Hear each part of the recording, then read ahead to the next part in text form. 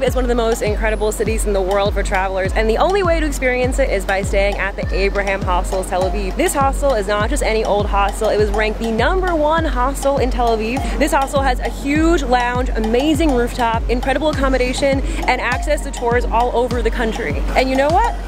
While I'm here, let me show you around. Welcome to the Abraham Hostel Tel Aviv. As a backpacker and traveler, I've stayed at a lot of hostels. And I can tell you that staying at Abraham Hostel Tel Aviv is the only way to experience Israel, especially here in Tel Aviv. So we are starting at my favorite place in the hostel, the rooftop. It's the perfect place to enjoy a morning coffee or to enjoy a drink before heading out for the night with other travelers.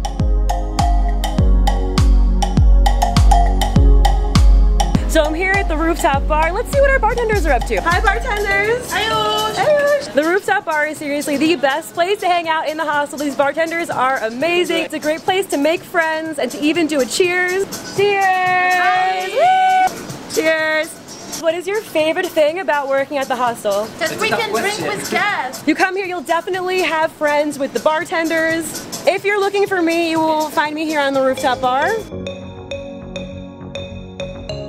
Okay, every traveler knows just how important the lounge of a hostel is, so wait until you see this place. Okay, I'm gonna take a break in this chair for a second while I tell you how amazing the lounge is. Yes, there's tons of seats, tables to do work, even swings, and an amazing bar, art on the walls. You will never be bored here in the lounge because there are just tons of events happening all the time. From language exchange programs to concerts, of course, pub crawls, anything you can imagine, this hostel does it. And quite frankly, you never know what you're gonna find here.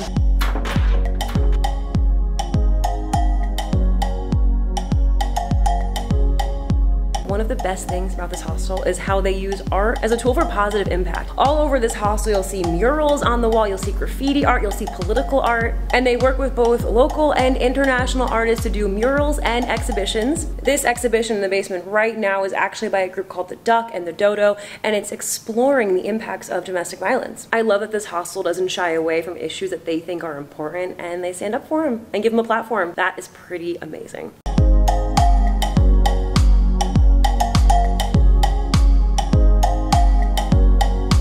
Is reception where the amazing staff here will help you get checked in and settled. Say hi, guys. Hi. What's your favorite thing about working at Abraham Hostels? Holding sheets. Folding the sheets. I love getting to meet all the people from all over the Israeli world. And in the back of reception, you'll find the tour desk where you can find information and book incredible tours with Abraham tours all over the country. When it comes to location, this hostel is in the perfect spot in Tel Aviv. Seriously, I'm actually just running down the block to show you how close it is from some of the best bars and clubs in the city. There are tons of cafes and restaurants, and it's just like a 15 minute walk from the beach. Plus, even quicker if you take a bike. There are plenty of city rental bikes right outside the hostel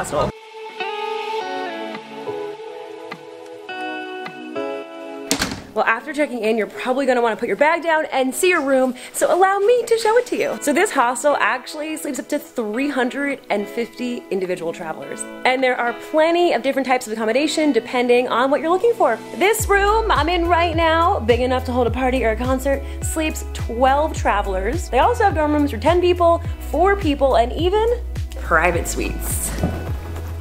I like this one.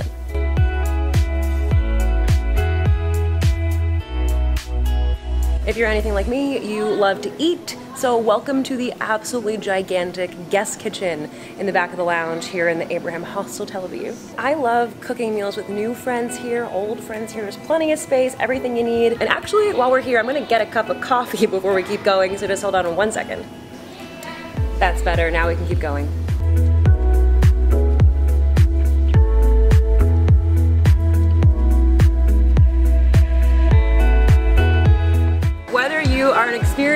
Traveler or this is your first time traveling solo, backpacking, this hostel is seriously the way to go. And you know what? I hope that I see you next time that you're here.